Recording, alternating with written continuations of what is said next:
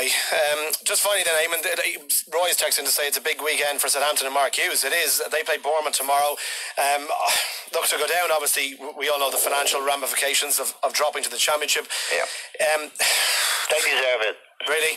Yeah, they finished eighth in the Premier League and, uh, with under Puel, yeah. who's gone to Leicester now, and they sacked him because some of the players apparently uh, complained that he wasn't convivial enough.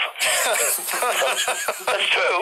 He too dour. Oh my God. And it's true. And actually, West Brom sacked Tony Pulis, who's the master, after with Allardyce actually, of keeping teams in the Premier League. Uh, and there was a guy at Charlton years ago when they were in the Premier League. Um, he sacked. Reed. Yeah, coach, and they said we're fed up finishing uh, mid-table in the Premier League. They're now in Division X.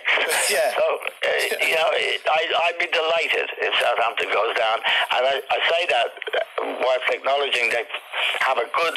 Um, youth system there, academy, they're producing terrific players, but boy was that some stupid thing to do. For a club like Southampton, which is a very small club in football history terms, to sack a guy because he only uh, finished eighth and didn't like a pint to the lads is boy. Wow. That's going to be an expensive mistake, and I'd, I'd be delighted. The latest state of player power at its absolute ridiculous best. Yeah. Okay, listen, Eamon and Kevin. And he thank got them very so close to a cup final win as well. You shouldn't forget that last Yeah. year. They, they very nearly beat United in the League Cup final. So, I mean, he did a decent job there. So it was a crazy decision. But there Yeah. you go.